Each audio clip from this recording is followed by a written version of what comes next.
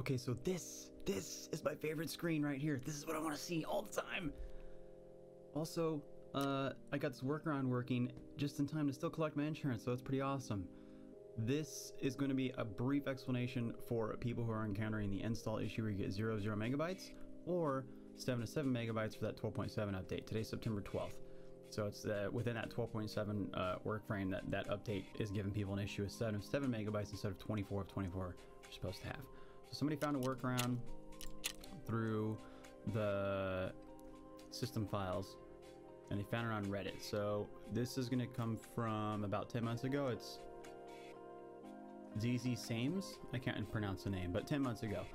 Okay, it's almost a year ago, and you're gonna go and follow these directions right here. It's pretty straightforward, but there's a teeny tiny little bit of nuance that I found that needs to be articulated just a tad for less technically inclined people such as myself. So, uh, and then the big post is in here about a day ago. Um, the whole technical update, yada yada yada, about why these issues are coming up. So I'm sure Battlestate will get to it, but for now, people have had to find their own thing out, and they use this one from 10 months ago. So here's what you're gonna do.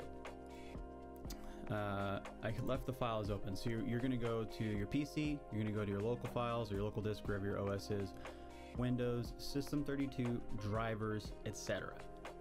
Okay, and then you're going to go to this hosts file right here. And then what you want to do, and what I did, is you're just going to drag it to your desktop. It's going to say, hey, you need administrator privilege. Yep, continue, do that. And then you're going to double click you're to open it with Notepad. Alternatively, you can open it with Notepad++. Notepad worked fine for me. So yes, open with Notepad. Click OK. You're going to add this line right here. This line is not here when you open it originally. You're going to add that in.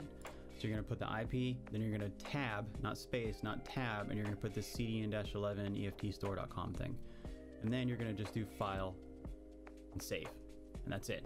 Don't save as, nothing like that. File save. Because if you do save as, it's to make it a text file and it won't work. Just do save. Then when you're done with that, drag this host file back in here. Need administrator privileges. Yep, that's what I want to do. And it puts it right back in there. See how it's a file, not a text file. So then minimize this, open your EFT folder, click install, and it should work. It'll go through the whole process and you should have no problems. If you do have a problem, which some people still have a problem, they're having the same issue, it's probably a different issue for you. Most people, this is a good solution for them. Some people are having issues still, but then you click play, you know, and the whole thing should launch. I've done this, I've clicked play five, six, seven times, and I'm able to get into, uh, I did a quick raid as a scav and things like that. It's working out fine. No disconnect issues, nothing like that.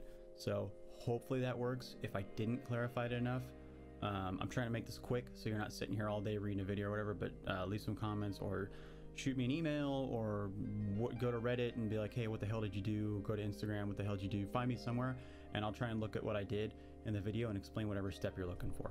So hopefully this helps you a tiny bit. Uh, good luck, because this took me like, I don't know, a long time. And I was ripping out the uh, minimal hair I have left because my hair is thinning, but nonetheless I was ripping it out. So good luck. Let me know if you need help.